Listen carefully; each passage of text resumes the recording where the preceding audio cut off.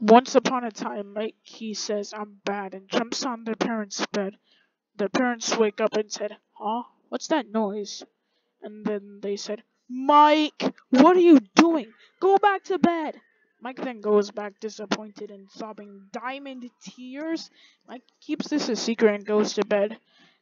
Then he wakes up and goes downstairs. Then his parents say, No games until you apologize. Mike apologized and ran off trying to cry the diamond tears. He tries to remember something that will make him cry, and he remembers when his girlfriend broke up with him. So he started crying the diamond tears, and he oh so wanted to sell those diamonds. He ran to a pawn shop, and the pawn shop owner said, Hey, where are your parents? Mike said, I ran off and found diamonds. The pawn shop owner says, Okay, just hand the diamonds in for the money. The pawn shop owner analyzes the diamonds closely and gives him a thousand dollars for the diamonds. Mike says, Wow! Then the pawn shop owner says, A deal is a deal. Now go back to your parents.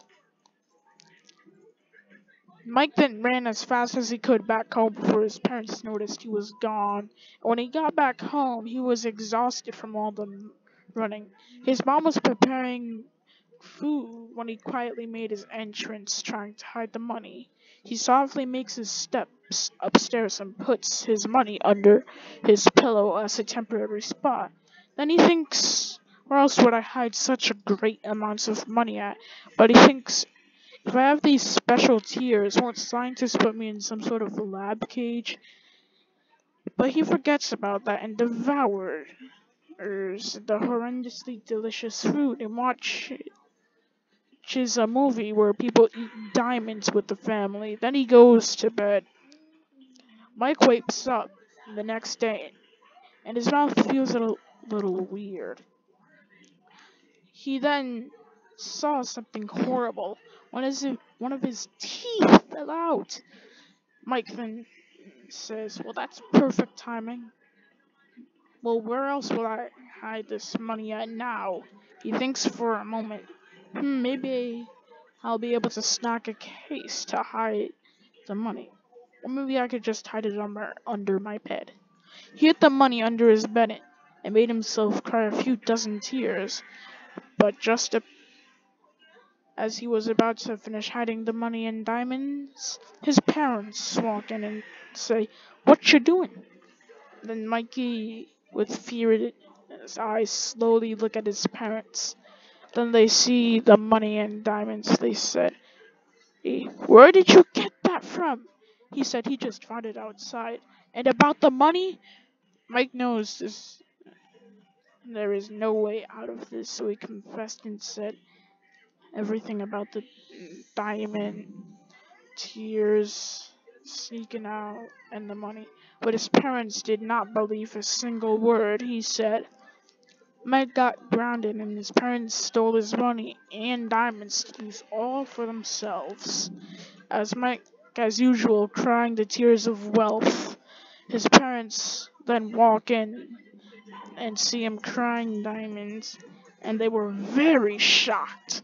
Then they kicked him out of the house, and then a truck that said Fostering Now approaches Mike. Mike says, If nobody likes these tears, I'll use it for my own money then. He cries as much as he can and sleeps on the concrete floor that night. Mike wakes up surprisingly alive somehow and looks around. He was in a foster home? Mike said, Where am I? One of the kids said next to him, We're in a foster home. Probably no one will save us from this prison. We're stuck here because of my powers. All I can do is just teleport short distances. Mike then said, Wait, can't you just teleport next to a wall and escape? Oh, I thought the walls were thick. I never tried that before. Let's go and hold Let's just go and hold on to me to teleport with me. Alright, they both say three, two, one. They did not end up in a wall, but outside. they both start moving towards Mike's home. And Mike hasn't cried yet, so they both introduce each other. Her introduced herself and how she got in there. Er, And so did Mike. They look at Mike's home and Pear says, Huh, this is your home. How beautiful. Let's sneak in.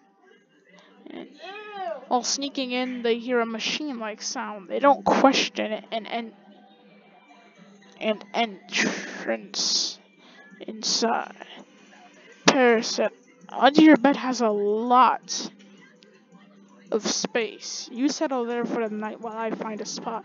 As Mike goes under the bed, he sees Pear teleport away, and shortly after that, Mike fell asleep.